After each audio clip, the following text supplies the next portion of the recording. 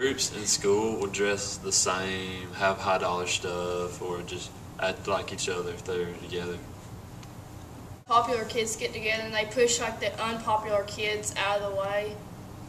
Because you don't want uh, what other people think about you.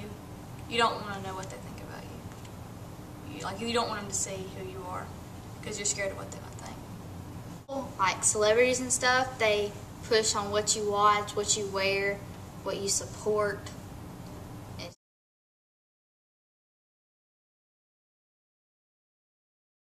We look to God to determine our worth and our self-value and how we should be as a person, how we should walk in our, in our Christian walk. We should remember that we're created in God's image, God's image, and that we were made just like Him. Determine our worth based on our relationship we have with our families.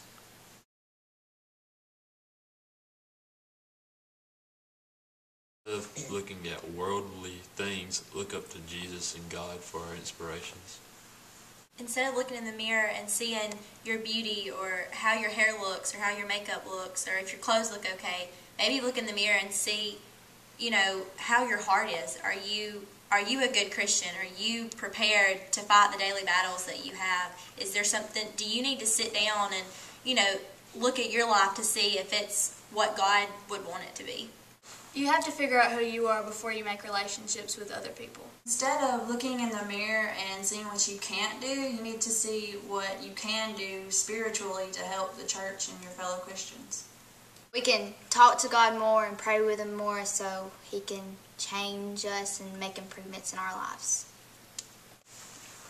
We need to read the Bible more so we can see ourselves in it and see what we need to do to change, to be better Christians. We want you to come down Wednesday night to hear what the Bible has to say about how special we all are. My friends and I look in the mirror.